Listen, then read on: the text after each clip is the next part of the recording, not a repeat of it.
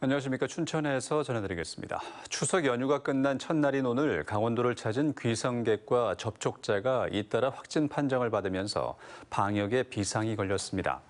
오늘 춘천에선 자가 격리 중 확진자 3명, 감염 경로 조사 중 확진자 3명과 경기도 확진자의 접촉자 1명 등 7명이 확진됐습니다. 인제에선 자가격리 중 한 명과 벌초객 한 명이 확진됐고 양구와 홍천에서도 각각 귀성객 한 명씩 확진 판정을 받았습니다. 이 밖에 원주와 속초에서 10명씩, 고성 4명, 태백과 삼척에서 한 명씩, 오늘 강원도에서 37명이 확진됐습니다. 닷새간의 추석 연휴 기간에 강원도에서 177명이 코로나19에 감염됐습니다.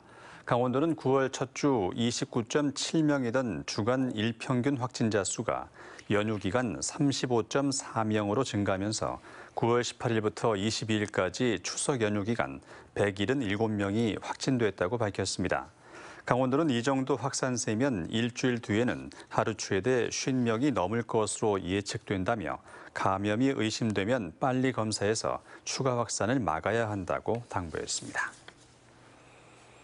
춘천에서 양돈 농가가 가장 많은 동산면 지역에서 야생 멧돼지 아프리카 돼지열병이 발생해 방역에 비상이 걸렸습니다. 춘천시는 지난 19일 동산면 원창리에서 폐사한 야생 멧돼지에서 ASF 바이러스가 검출됐다고 밝혔습니다. 동산면 지역은 춘천 양돈 농가 8곳 가운데 6곳이 위치해 있으며 일단 농장을 모두 정밀 검사한 결과 바이러스는 검출되지 않았습니다.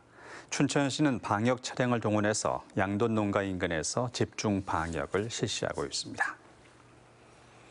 춘천 중도와 서면을 잇는 서면대교를 강원도와 춘천시가 600억 원을 들여 조기 건설하기로 했습니다. 강원도와 춘천시는 서면대교는 중도에 조성 중인 레고랜드는 물론 제2경춘국도의 연결 도로와 연계되는 중요한 핵심 교통시설이라며 교량 750m 규모의 2차로만 우선 건설하겠다고 밝혔습니다. 앞으로 국비가 확보되면 4차로로 확장할 방침입니다. 서면대교는 기본 계획과 실시 설계를 거쳐 내년 하반기쯤 착공될 전망입니다. 강원도의 수출이 8개월 만에 17억 달러를 돌파했습니다. 한국무역협회 강원지역 본부에 따르면 올해 1월에서 8월 강원도 수출액은 17억 5,884만 달러로 관련 통계 작성이 시작된 이래 사상 최대치를 기록했습니다. 이에 따라 올해 20억 달러 돌파 가능성도 높아지고 있습니다. 이 같은 강원도 수출 호황은 의료용 전자기기와 전선, 화장품 등 효자 품목이 주도했습니다. 문재인 대통령의 아들 문준용 씨에게 양구군이 예산을 집행한 것과 관련해서 정치권에서 논란이 일자 양구군이 특혜성 지원이 아니라고 입장을 밝혔습니다. 양구군은 박수군 미술체험마을 어린이 미술관 전시물 제작 설치와 관련해 수의 계약을 따낸 장애인 생산품 판매지원협회 아름다운 사람들을 통해 문 씨에게 예산 7천만 원을 집행했습니다.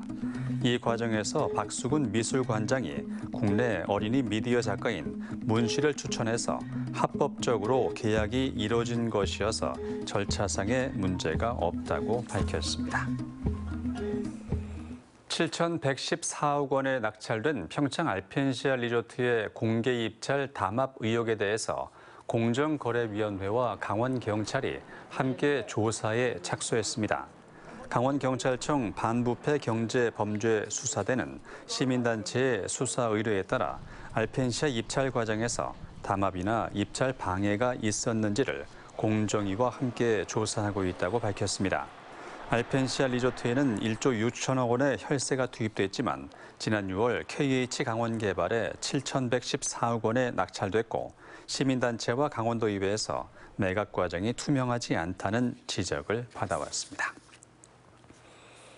강원도의 수소차 충전소가 전국에서 가장 적은 반면 전기차 충전 시설은 가장 많은 것으로 나타났습니다.